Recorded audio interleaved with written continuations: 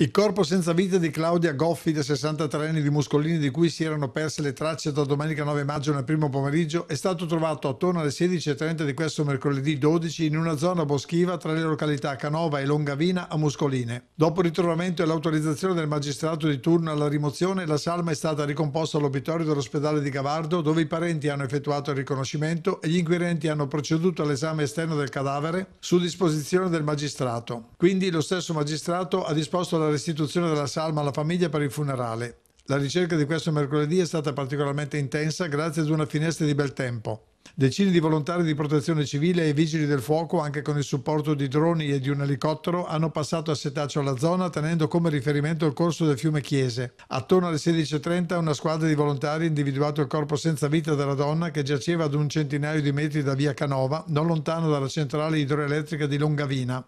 Le prime verifiche hanno confermato quello che si era sospettato fin dal primo istante. I carabinieri della compagnia di Salò hanno verificato che nessuno era intervenuto a provocare la morte della donna. Intanto sono riprese questa mattina all'alba le ricerche di Laura Zigliani, la 56enne di Temu, uscita di casa attorno alle 7 di questo sabato 8 maggio senza farvi ritorno. Dopo aver battuto tutte le zone impervie, le valli tra Temu e Gari, la valle di Canè tra Premi e Cortaiolo, la Val d'Avio e la conca di Casola sopra Ponte di Legno, ieri le squadre si sono concentrate in una zona abitata passando a settaggio garage, scantinati e edifici abbandonati. La zona non ha telecamere di videosorveglianza, dunque tutto deve procedere con ispezioni di squadre specializzate formate da tecnici del soccorso alpino, quinta delegazione bresciana, coordinati da Pino Mazzucchelli con il capostazione di Temu Giorgio Poli, squadre di vigili del fuoco con UCL, specialisti TAS e SAF regionali, il soccorso alpino della Guardia di Finanza di Edolo e i carabinieri di Vezza d'Olio con i colleghi del comando di Breno. Intanto si è appreso che alcune testimonianze offerte spontaneamente nei giorni scorsi da parte di chi avrebbe visto Laura non sono state confermate poi per iscritto.